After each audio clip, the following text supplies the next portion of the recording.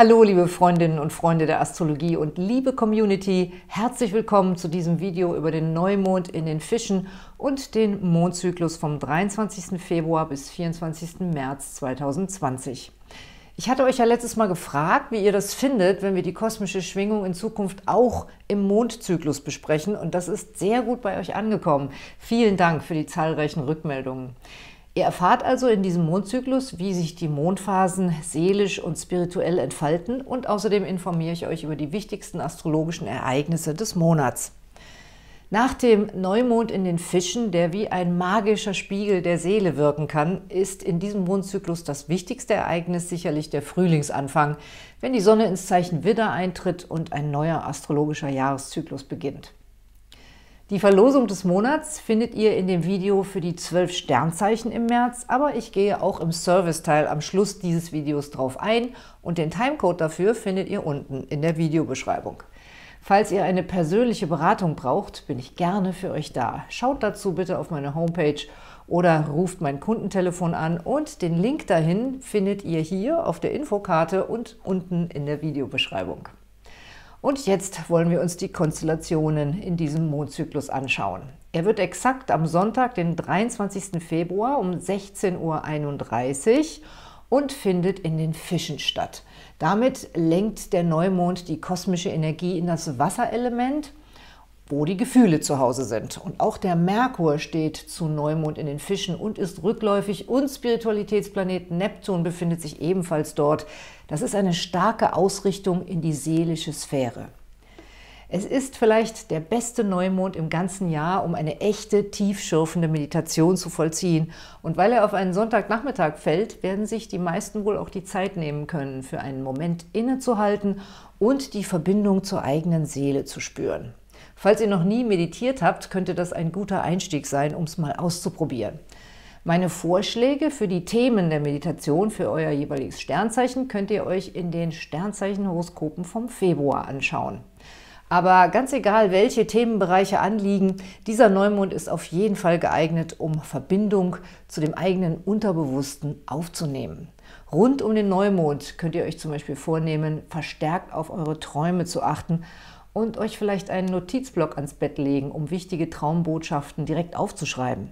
Falls ihr schon immer mal die Methode des Klarträumens lernen wolltet, könnt ihr damit idealerweise zu diesem Neumond anfangen. Klarträumen heißt, dass man sich während des Traums darüber bewusst wird, dass man träumt und dann das Traumgeschehen beeinflussen kann. Und wenn ihr das üben wollt, könnt ihr das während dieses Mondzyklus mal ausprobieren, indem ihr euch jeden Tag mehrmals fragt, träumig oder wachig. Wenn man sein Bewusstsein darauf programmiert, dann fällt einem das halt auch irgendwann im Traum ein, sich zu fragen, träumig oder wachig. Und dann kommt man in diesen Zustand, dass man sich frei im eigenen Traum herumbewegen kann. Ich selber habe das auch schon geübt und es funktioniert auch, obwohl ich es viel weniger regelmäßig mache, als ich eigentlich sollte. Es gibt übrigens auch tibetische Mönche, die sogenanntes Traum-Yoga üben.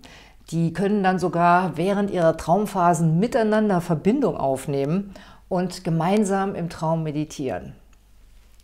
Ich habe hier auf YouTube einen interessanten Kommentar von Mr. Masterkey bekommen, für den ich mich an dieser Stelle auch herzlich bedanken möchte. Und er weist darauf hin, dass ein einzelner Mondzyklus nicht reicht, um etwas Neues zu erlernen und auch, dass die Kräfte der Gedanken auch durch Emotionen unterstützt werden müssen. Also der Wille muss stimmen und auch die Gefühle. Das stimmt natürlich absolut und in gewisser Weise bestätigt das auch meine 90-Tage-Regel.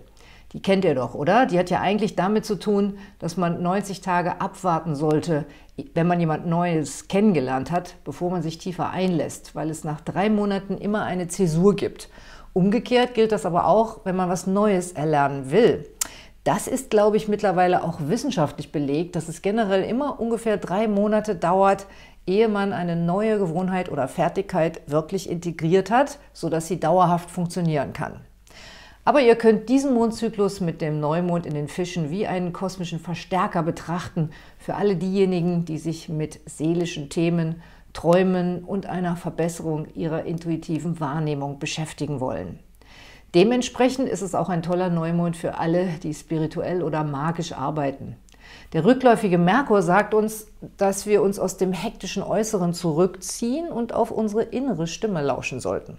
Die Konstellationen sind wie ein Schlüssel zur Welt der feinstofflichen Energien und der morphischen Felder. Habt ihr schon mal von dem Konzept der morphischen oder morphogenetischen Felder gehört? Die wurden schon in den 70er Jahren von einem amerikanischen Biologen namens Rupert Sheldrake beschrieben, im Zusammenhang mit dem Phänomen, dass immer wieder Erfindungen und Erkenntnisse im Laufe der Geschichte der Menschheit an verschiedenen Orten der Welt gleichzeitig aufgetreten sind. Der Wissenschaftler geht davon aus, dass es ein sogenanntes morphisches Feld gibt, in dem die Energien von Gedanken und Gefühlen gewissermaßen gespeichert sind. So wie wir unsere digitalen Daten in einer Cloud ablegen können, gibt es halt auch ein viel feineres und subtileres Netz, das völlig unabhängig von Technologie und Strom eine Art intuitive Verbindung zwischen allen Lebewesen darstellt. Wir kennen das auch von den Haustieren, die schon Minuten oder sogar Stunden, bevor Frauchen oder Herrchen nach einer Abwesenheit wieder zurückkehren, unruhig werden und genau spüren, dass der Lieblingsmensch wieder nach Hause kommt. Wie machen sie das?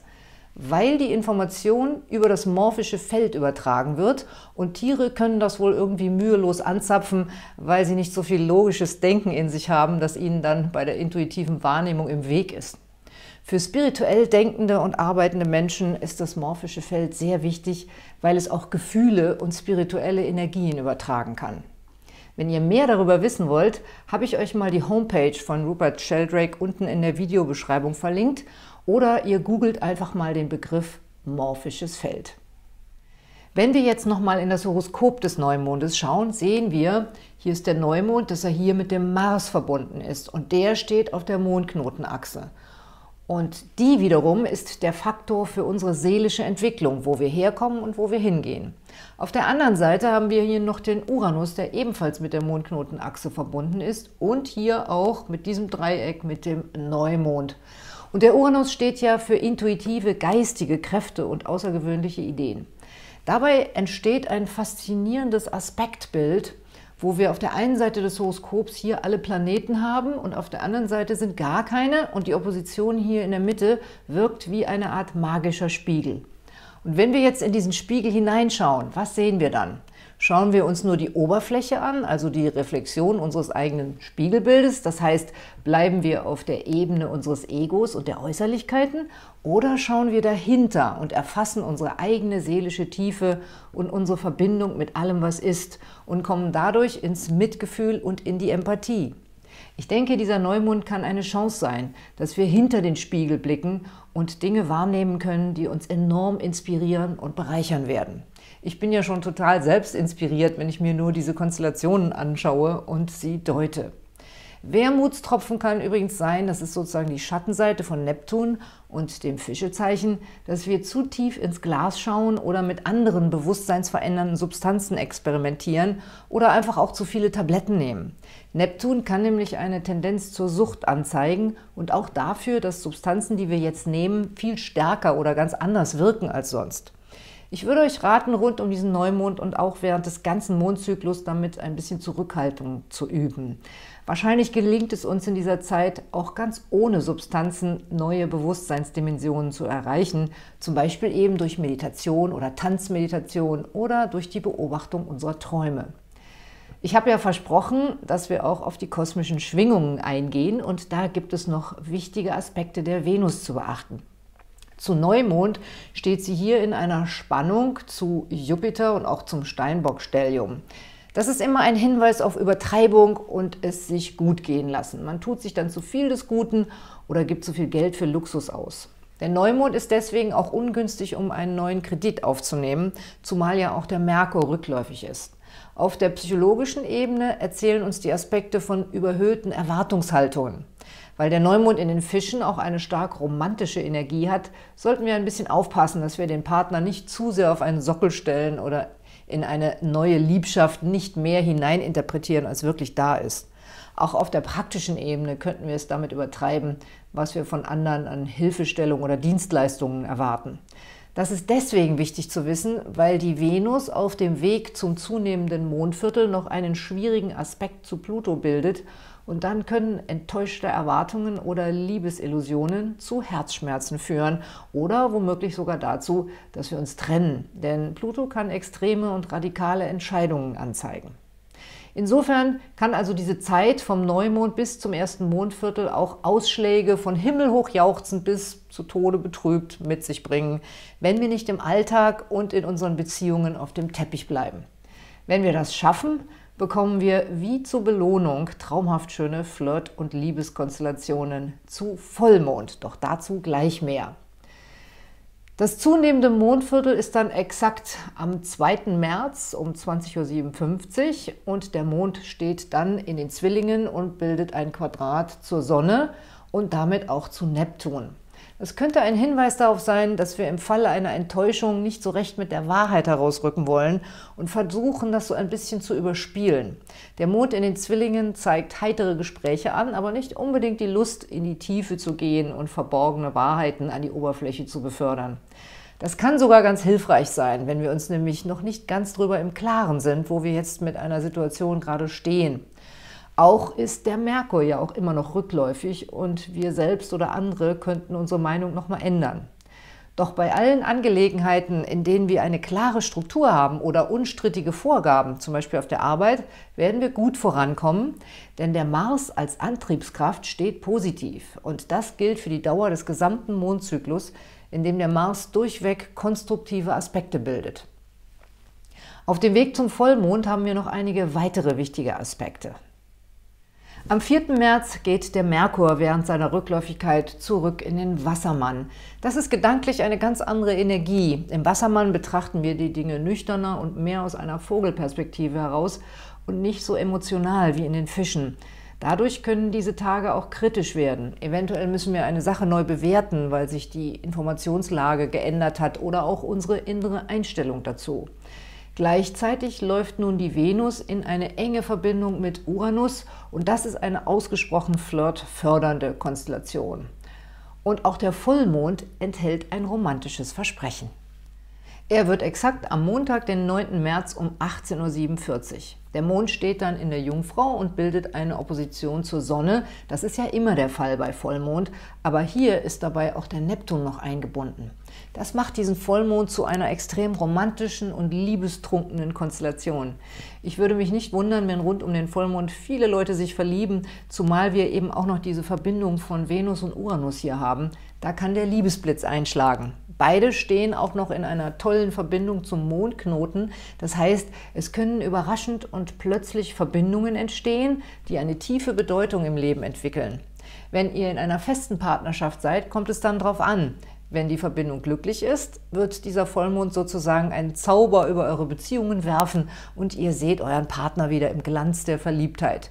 Wenn ihr nicht happy seid in eurer Verbindung, kann euch jetzt vielleicht Amors Pfeil mit einer anderen Person treffen.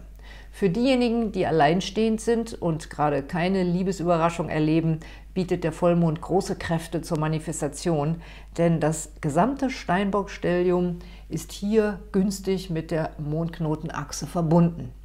Wenn ihr nicht schlafen könnt, dann steht einfach auf und arbeitet an eurem Herzensprojekt oder eurem Konzept weiter. Wahrscheinlich bekommt ihr jede Menge Inspirationen.